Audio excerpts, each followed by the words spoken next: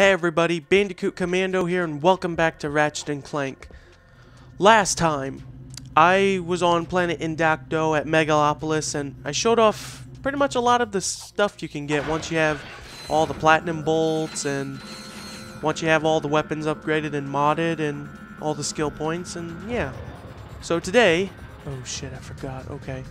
So today, I'm going to show off a little secret, which is why I'm, oh great why I am wasting time. because I completely forgot I had to go through all this again. So, we're going to go to a little secret area that can only be found on this planet, and there are two ways of getting to it.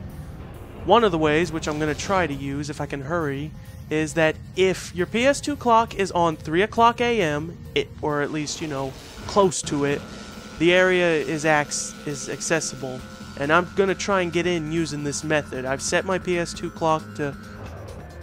Oh shit, come on, fix. I set my PS2 clock to... Uh, to 2.55 just to give me a little extra time to make it there. So, all you need to do is here on... Here on Boldan, once you get by here, get past these guys and get here specifically.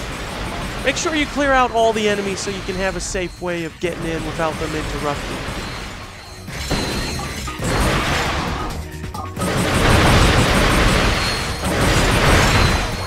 Well, the little guys won't be no trouble for me. Looks like it's almost 3 o'clock. So, this thing will be activated by at least 3 a.m. Now, if you mess up, there's another way of getting in. Don't worry, so Okay, where is that one getting hurt so I can shut it up?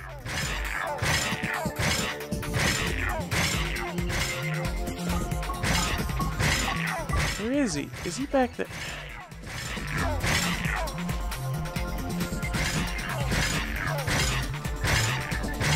That's gonna get on my nerves awfully fast unless I kill him.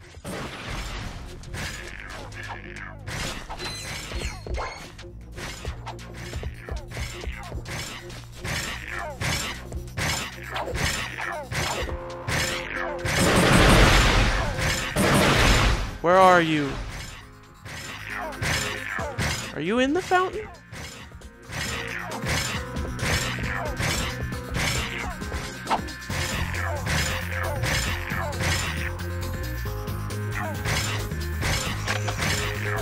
This is really annoying me and I'm I want to talk about other things.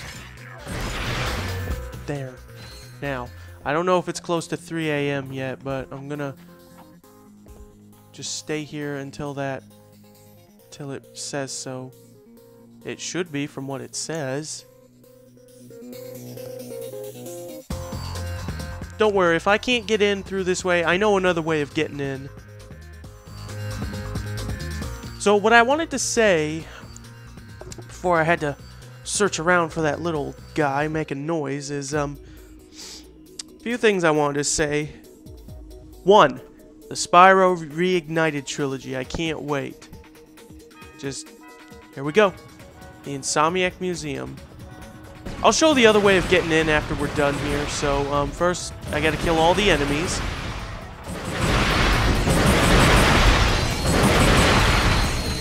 Like I said, it has to be at 3 a.m., but there is another way of getting in. What else is in here, by the way? Yeah, this is where you're all on at the map, by the way. Just showing. Okay. Uh, let's get going. I've never been to this Insomniac Museum, but can't wait to see what it's like. Here we go. And we're in our ship. Oh, that's the other thing. Uh, the ship. Um, I chose the Insomniac Moon color. Planet Burbank. It's Earth, and Burbank is like, you know, an actual place. Hello help message. This is Mike Stout. I'm a designer at Insomniac Games. Hi, welcome to the Insomniac Museum. Here you'll see some of the great things that never quite made it into the game, and you'll learn a little bit about life here at Insomniac Games. Thank you. Uh, who are you? Hello, my name is Brian Allgeier, the design director at Insomniac Games. These floating spherical monstrosities are the elusive gravity spheres, which were originally going to be included in Silver City. They proved to be too difficult, and a bit nauseating, to be included. They are preserved here for posterity. Swing shot up to try running around one, and then swing shot again to get off the sphere. Okay, so I'm guessing um, gravity spheres. I'm assuming the way they work is whoa. Are my boots even equipped? Yeah, they are. I'm assuming the way they would have worked though is that they they probably would have not had. Oh, okay, I could see why it's nauseating. Whoa. -Ho -ho. Um, I could clearly see why. It's cool, but it is kind of screwy to look at.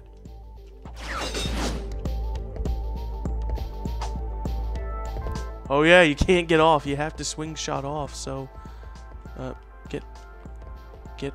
Uh, I'm getting motion sickness just looking at this. Thank you. Okay, uh, let's see what's around here. What's this? Hi there, my name's Tim Trespass. I'm a gameplay programmer here at Insomniac Games. I'm a Leo from Washington, D.C. I like anime and shiny objects. This car was originally going to be included in the battle with the giant robot on Snivelak.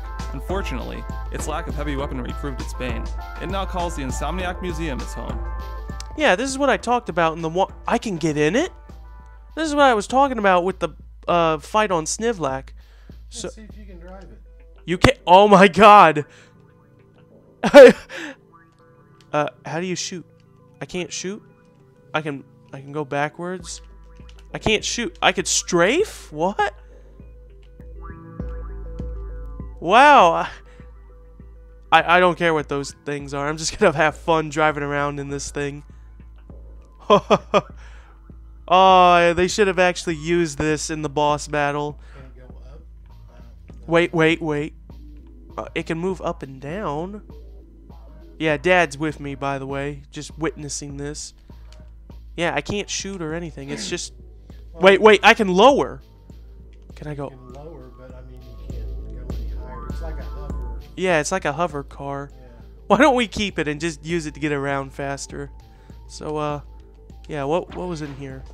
It's like a skateboard. but, art or some shit. Hiya! This is Oliver Wade, the animation director here at Insomniac Games. The three-headed Hydra was a big cut from Ratchet and Clank 1. It was originally intended as a mini-boss on Pokitaru. Ratchet battled this beast whilst riding a boat through blowfish-infested waters. However, it didn't end up being that much fun at all. Okay, so uh, the museum talks about just not just things in this game, but oh, you face through it, but things from the first game as well. So, kind of glad they didn't use this thing. What is the point of the metal here? Like, is there like a point to this? Is it just here for just what? Um, I'm a bit confused why I'm on the on the wall. Again, I've never been in the museum, so it's new to me. Okay, how about we uh, just get back in our little car and uh, I still wish you knew how to. I wish this thing can actually shoot though. I'm gonna have to ditch this thing eventually, but still. What's in here? Was it like a basketball court? My name is Chris Town, and I'm a tester here at Insomniac Games. Here at Insomniac, we're so hopped up on caffeine that we bounce off the walls! You can do the same with these gravity ramps. Oh, so that's what they're here for.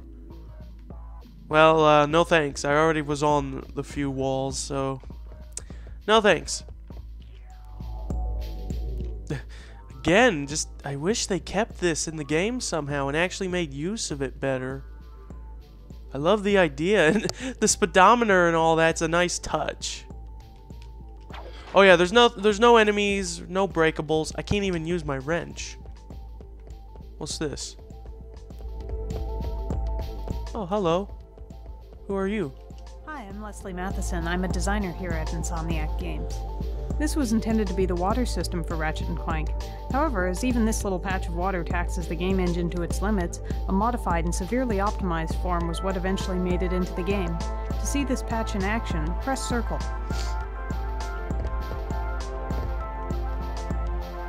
Oh. I... Wow. They wanted to use almost realistic water effects. I could see why. Because, yeah, it, it's hard to do that sort of. Like, back then, for the PS2, it was hard to make uh, realistic water. At least the GameCube and Xbox were powerful enough to do that sort of thing. Well, that's neat. Sorry, vehicle. I'm gonna have to leave you here because I can't take you everywhere. Uh, what's over here? What is this? Greetings, this is Oliver Wade, the animation director at Insomniac Games doing an atrocious British accent. This is the original Gadgetron vendor from Ratchet and Clank 1. The official reason it was cut had something to do with saving memory.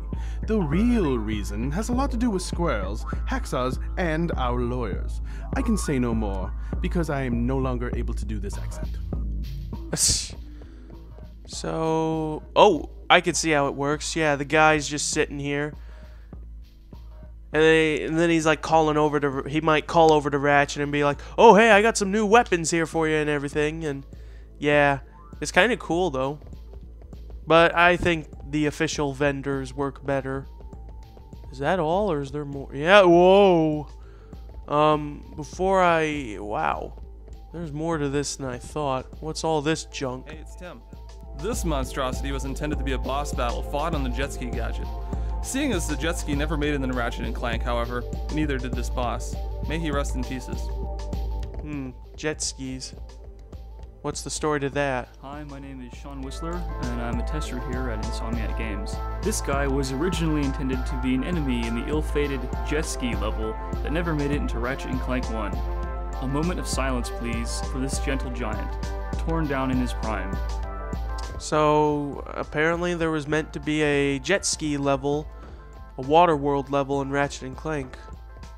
Huh. Interesting. Uh, before I go see what that is, what's over here? Was this? Yeah, this is where we were with the vehicle. Okay.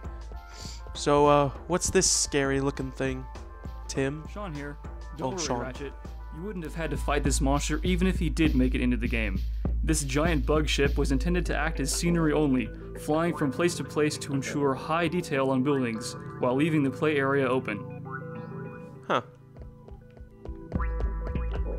Why'd they have to remove it though? Like not just time constraints. Oh, uh, man, untextured things. Okay, so we were over here. Uh, anything more? I didn't really see the whole video. To the what? i- What? I don't like the looks of this. Um, effects, I guess. So what's up over here? Oh, okay. Uh, well, first, let me at least see what's up here. Hi, my name is Tony Garcia and I'm a programmer at Insomniac Games. This little demonstration allows you to create your own shot effect. Using the magic of debug technology, you can edit the shot's size and color, and then watch the bandit shoot it at the blockman. Don't feel too sorry for the blockman though, he's evil. Alright, uh, what does this do? It affects the colors. Oh, it's a debug. Okay, um.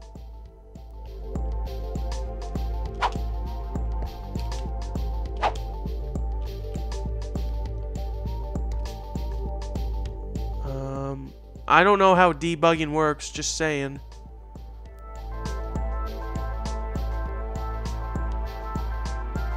I'm, I'm I'm just fiddling with shit that I don't understand.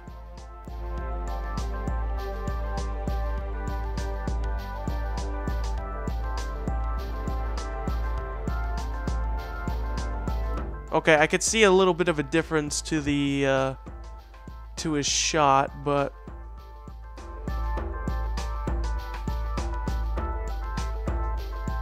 see what happens if we put it on zero.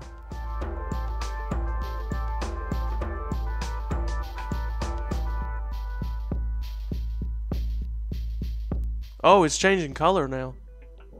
And what happens if this is on zero? It's becoming like very small and deadly looking.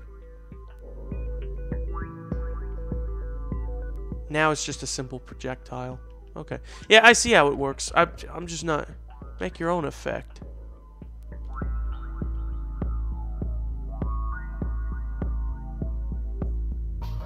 Ooh, ooh, that's nice looking. That's a cool shot. Let's make it thick. Looks like a person being shot out, like a little creature being shot out of that thing. It's hurting my eyes, though, just trying to look at it right.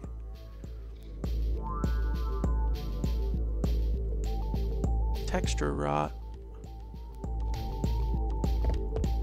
I don't think he can hurt me. Oh, okay, yeah.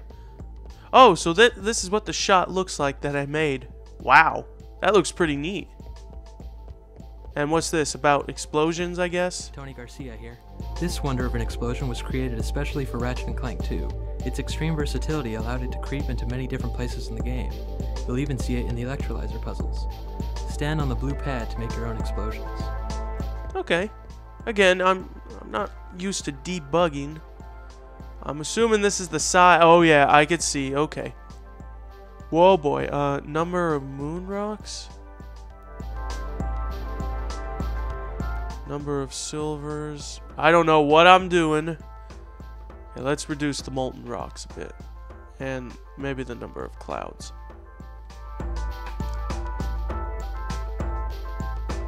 No, no, too much red. Too much red.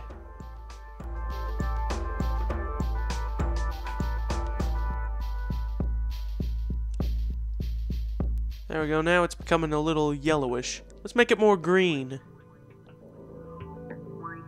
There we go. And add some more blue. Yeah, get a purple color going if we can. Wait for it. I'm sure we can get it. Now it's becoming white. Maybe we might have to add a little bit of red.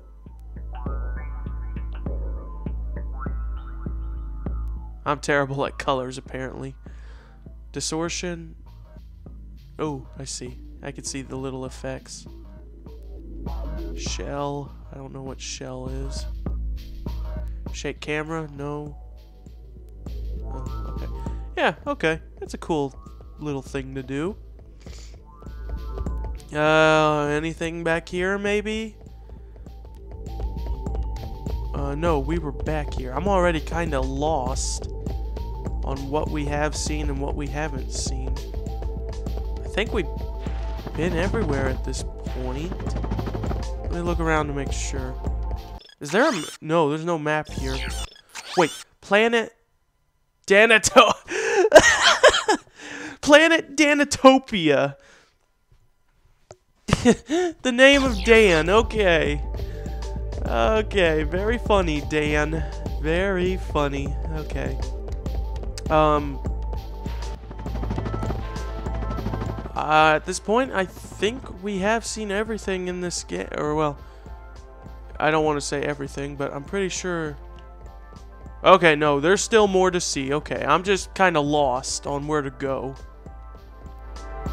Ooh. Now, what is this thing? Fire? Tony Garcia here. Using these three blue pads, you can edit the three particle effects in the center of the room. Go ahead, play around with them. You can achieve some truly great effects this way. Okay. Let's see what we do. Oh, I see. Okay. Again, I'm no debugger pr programmer. I at least know certain things. Lifespan.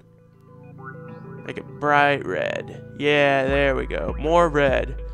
More red. There we go. Let's add some slight green and get rid of some of that blue.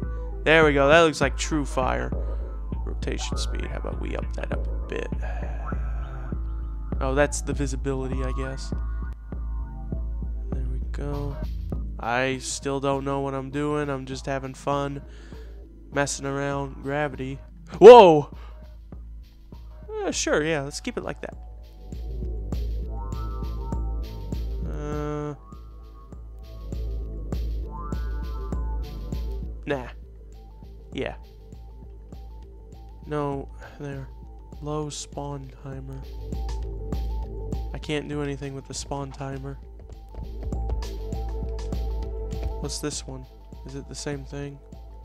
Oh, it's with the wind. Yeah, this is just messing around with the wind and smoke and other things like that. Whoa! What? Okay, um, what's this all about? Hello, this is Pedro Hastinas. I am a gameplay programmer at Insomniac Games. This was created to test screen buffer effects. Screen buffer effects are used to create things like distortion bubbles and heat hazing. This, however, ends up looking like a hall of mirrors. Can you guess why? Uh, because of the distortion. Yeah, it's like a never-ending, never-ending like frame thing. What's up here? It's a ship, but what's this have to do with anything? This dummy was created to test the new reaction system which we added to Ratchet and Clank 2. With this system, enemies would always be sure to react appropriately to being damaged without a ton of hassle. Go ahead and hit him. He won't mind. Yeah. See what you think of this. Or better yet, let's see what you think of this. I guess the speedometer thing was like an early test of vehicles.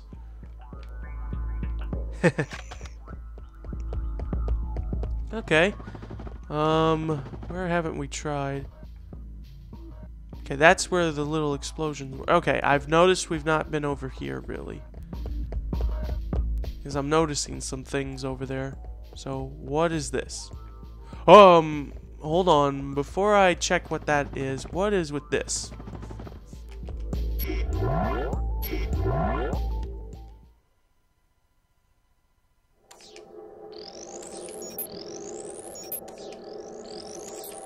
Ooh. Oh, okay, this is really gonna test my skills here.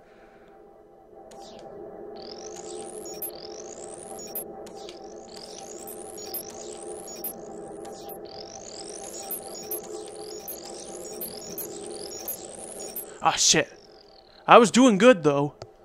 Come on, I want to see what's behind here, or what doing this is part of.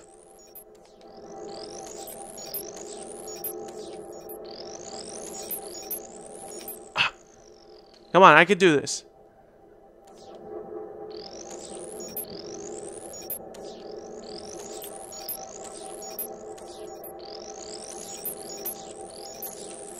Ah, shoot. Come on. Let me do this.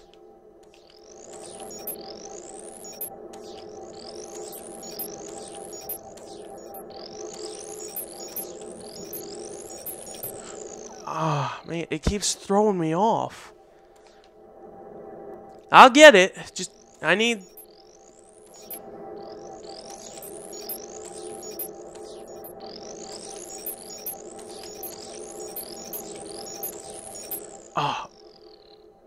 nearly got me there. Okay, I gotta remember that one.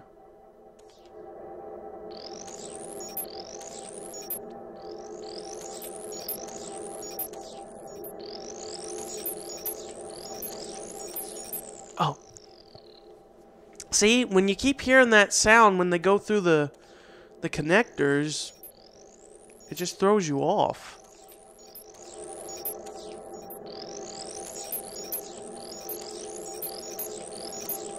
Oh, it got me again. That one got me again. Okay. Come on, I can do this.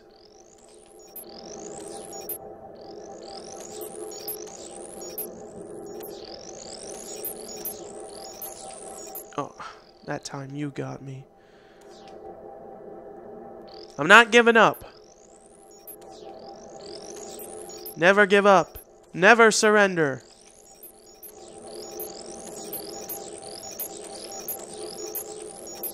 Gotcha. Oh, we get to see what's in there. Okay. Well, first off, what... Um, whoa, uh... I want to save that for last, if all honesty, so... Uh, before we do anything else, let me just, uh, look around over here again. What was over here? Okay, that was the smoke thing, so... Over here is this. Okay, so what's this? My name is Corey Stockton, and I'm a designer here at Insomniac Games. This monstrous robotic squid was created for one of the Ratchet & Clank 2 prototype levels. Since that level never made it into the finished game, however, neither did poor Squiddy. Ah, poor Squiddy. Poor Squidward. I kind of like and do not like what I see out there, but um, first, I think we're almost done with what we're seeing. What's in this room? Hello? What is that? Chris here. This helmet was the original model for the Hologuise gadget in Ratchet and Clank 1. It was eventually changed to the handheld model you see in the finished game for reasons unknown. However, we once again suspect it was due to the squirrels with hacksaws. So this thing was a helmet? But in the game itself, it's like some just little control thing. What's this? Carl Grande, the QA manager here at Insomniac Games. This gadget was originally intended for Ratchet Clank 1. Unfortunately, it didn't make the cut, and so never saw the light of day. It now makes its home here at Insomniac Museum, gone but not forgotten. Seems to be some kind of vehicle. Must be the jet ski for that jet ski level they wanted to do. Anything else? Yeah, what is that thing? I can drive it, but before I touch it, what's up over here? Mike Stout here. Have you ever wanted to create your own infiltrator puzzle? Well, now you can. Just stand on the blue pad and play around with the values a bit. Confound your friends and amaze your enemies. Uh, where's the blue pad at? Oh, okay. Okay, how about I just...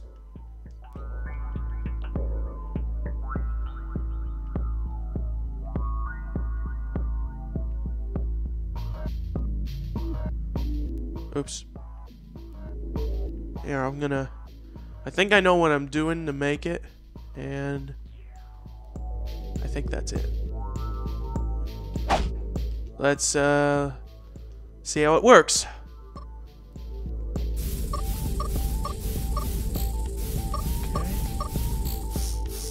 Ooh, this is gonna be tough, and I made it so random, I don't even know what I'm doing. But I want to see if I can beat my own puzzle I made.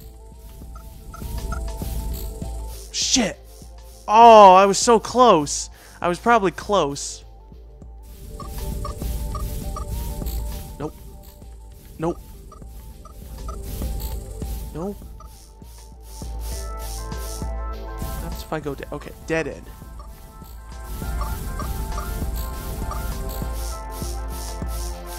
Come on, let me beat my own puzzle I made here.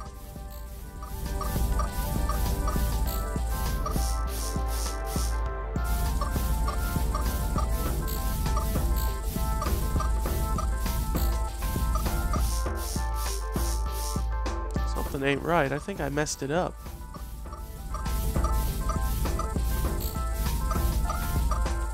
Hold on, let it reset.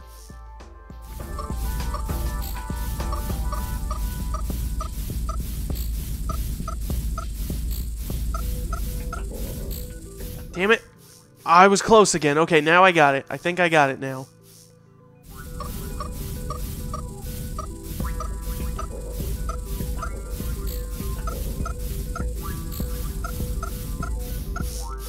Damn, oh, come on.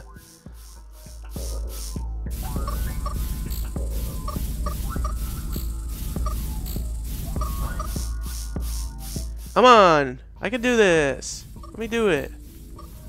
I'm already enjoying myself more than I should on this. I don't really like these infiltrator puzzles in all honesty.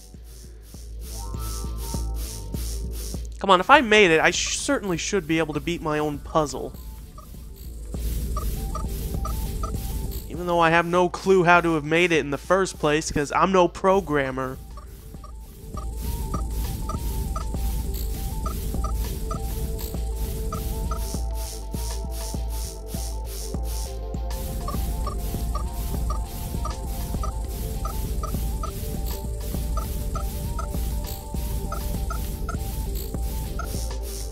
Ah, so close. Every time I'm so close.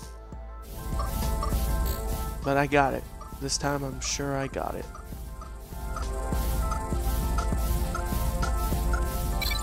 Gotcha! Okay, let's not do that again. Alright, what's up with this thing? Okay, it's just another ship. I can't even... I can't fly with it. I guess these were meant for the first game, if anything. Alright, what's up with out here?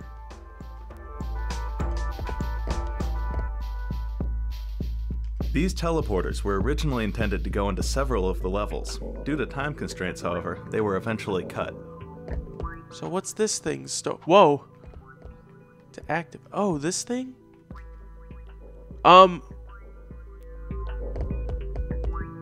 What? Where are we? I'm a little weirded out here. Brian Allgeier here. These escalating rows of blocks were used when we were in the early stages of creating Ratchet and Clank 1. They were used to test Ratchet's jump heights and jump distances to see which would be the most fun. Okay, so. So yeah, Ratchet can't jump that high, really. Oh, I see. I mean, yeah, we could still stretch jump at least, but if it comes to regular jumping, we'd have to glide our way across some of these. I see how it works, though. One jump. One jump, see? One jump. One jump. This would probably require two jumps. Two jumps. This one would require gliding. Gliding again. This one's a stretch jump. This next one's a stretch jump. I'm not sure if we can make these last two with stretch jumps. Nope. He can't go any further between 11 to 12 meters. Millimeters, I guess. And the same goes to the heights here. So one, jump, jump, jump, jump. Okay, that's a ledge grab. That's a ledge grab. That's a ledge grab as well. That's a double jump. Nope, that's for a stretch jump. This is also for a stretch jump. And Ratchet can't go any higher. Or no, he can. I didn't know he was going to reach that. But it's from here he can't reach. Okay. Let me guess, the same thing with jump height? Brian Allgeier here. These walls, which range from narrow to wide, were used to test wall kick distances for the original Ratchet and Clank. Oh, okay. Well, let's test it. And let's see what's through here, too. Nothing? Alright, let's see how far Ratchet can wall jump. Uh, I'm getting somewhere. I think this is the furthest he can go. Okay, let's try over here. See how high we can go. Okay, that's a little better. Okay, here he can do it. And then from here, he should be able to make these next two. Come on. Nice wall jumping skills. Alright, this is an easy wall jump. Only two left. This is yet another easy wall jump. I've never, I don't think there's never a point in the game where you can wall jump rapidly between walls like that. Okay, at least Ratchet doesn't stop automatically when he hits something. Okay, now let's find out what this big thing is. Alright, now what? Brian Allgeier here. These ramps get steeper and steeper as you go on. They were used to test how Ratchet's feet respond to different floor angles. It also helped establish that a 45 degree angle was the sharpest that Ratchet should be able to walk up. Okay. 10, 15, 20, 25, 30, 35, 40, uh, 45, uh, 50, come on.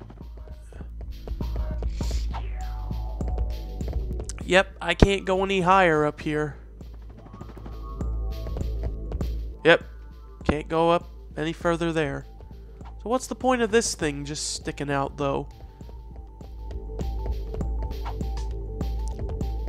Is it just here? Or does it actually have a purpose?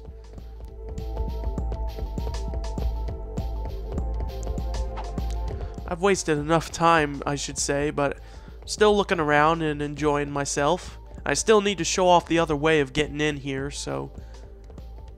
Uh, I don't think there's anything else I can do. Yeah, this is just here to be here.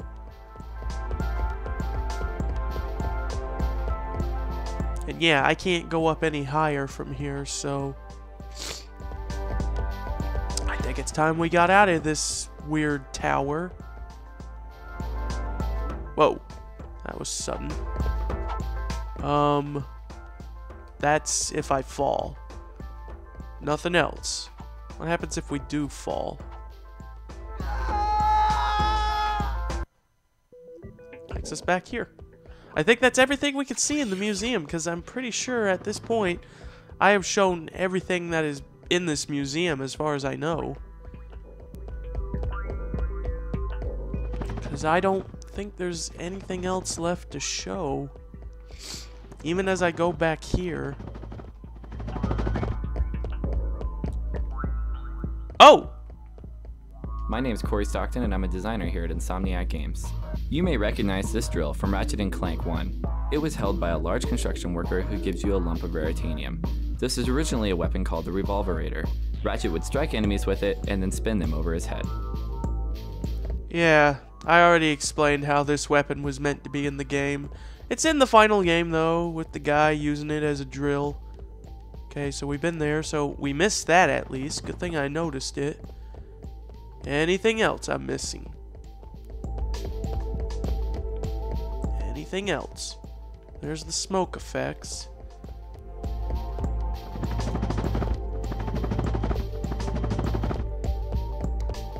Uh, that's the mirror thing. I feel like I'm gonna sneeze. I need to sneeze. Come on. Let me sneeze. There's the squiddy.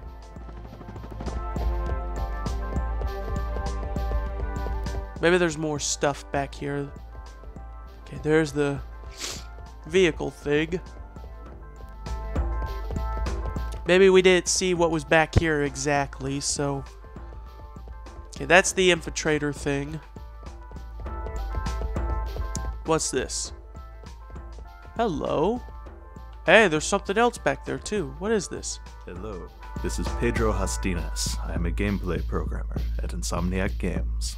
This little widget was used to test our new chunk system.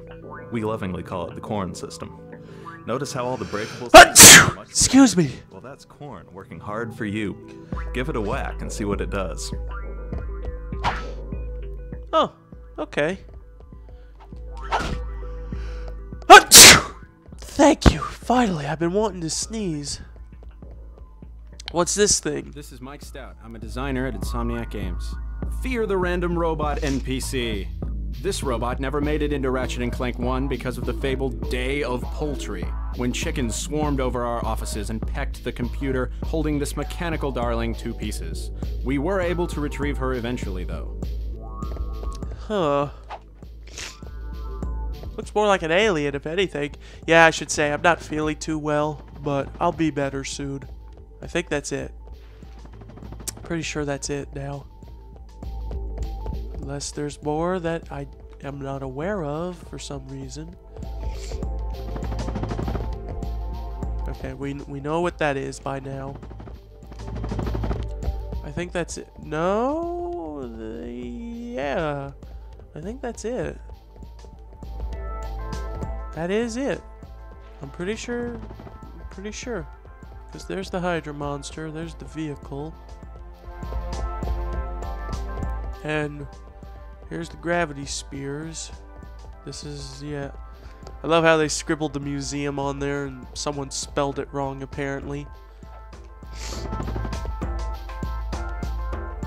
Yeah, and oh great, the magnet effect is in work here. Okay, yeah, that's it. We did it. That is everything in the Insomniac Museum. Wow. Why is...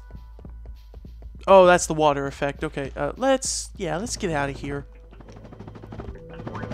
I've spent way too much time in here, but that was interesting, though. That was really interesting. I'm not done yet, though. I at least need to show off the other method of getting in, and then I'll stop, so... Alright, we're back on planet Boldan. We're back here at the ship. Okay, let me at least show the other method of getting in. So, the other way of getting into the museum without trying to change your PS2's clock setting, or if you're on your PS3, changing your PS3's clock setting, uh, the other way of getting in is with the grind rail section here. Okay, so what you'll need to do. So when you get to right around here, specifically up to this next area, purposely run into this and get knocked off, and then try to glide over to where the land is. Once you're over here, it is somewhat part of the map. There are some breakables here, but that's not what you're here for. Uh, go this way. Specifically to that building. Let me equip my boots. You need to specifically go to this building here. There are patches of missing ground of being untextured, so yeah, look out for that. Oh, okay. So what you do then is, uh, let's see. You go here. You should be able to find a way to phase through this. There's a way to, like, phase through the... There we go. Well... I really wasted my time trying to again, but at this point, I don't care.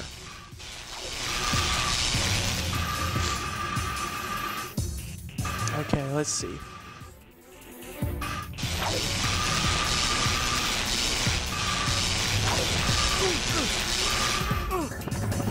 Okay. Maybe I did it wrong. Hold on.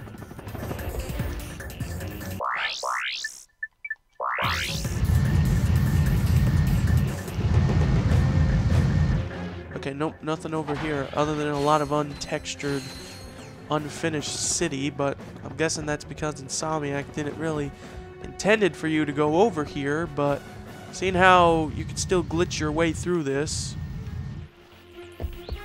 Okay, I think what you do is you go through, you gotta go this way. There we go, I found it. So then you gotta sort of jump in and reposition the camera. And then there you go, that's how you get in here. So if you don't want to set up your time system to 3 a.m., just do that. Uh, is this the one that... Yep, that's the one that takes you to the museum. Now, does the other one take me out, or do I have to get out on my own? Yes, this one will take me out. Okay, I gotta get out of here. Alright, well, uh, with that, I guess that's it. That will do for this episode. Well, there's one last thing. I can't even go back. I'm locked out. I'll just stop here, but before I end it, there's one more thing I gotta talk about. Well, more like two more things. Ah, three, now that I think of it. There were two, er, yeah, there are some more unused things in this game that they don't mention. One of them being was that Clank was meant to have uh, a torpedo system on the Hydro Pack, but that didn't make it into the game. There was supposed to be a weapon that, I believe if I remember how it worked, I don't remember how it worked exactly, but I'll be sure to show images of these as well. But it shot, according to the Ratchet and Clank wiki, it shot fireballs similar to the Terminator, but I don't remember what it did exactly or its name. And then there's the fire boots. It's just that with them equipped, Ratchet would leave a trail of fire as he walked, but the idea is that if you make a little ring of fire circle around enemies, it would do lots of damage. And, uh, yeah, that is it. So, that will do for Ratchet and Clank going commando. I'm done. I've gotten everything I wanted to do on here out of the way, all complete. It's all done. So, uh, as for what my next Let's Play will be, the only hint is that you'll see in the end slate. You'll see at the end of the video. So, uh, yeah. That is it. And I will see you guys in my next Let's Play.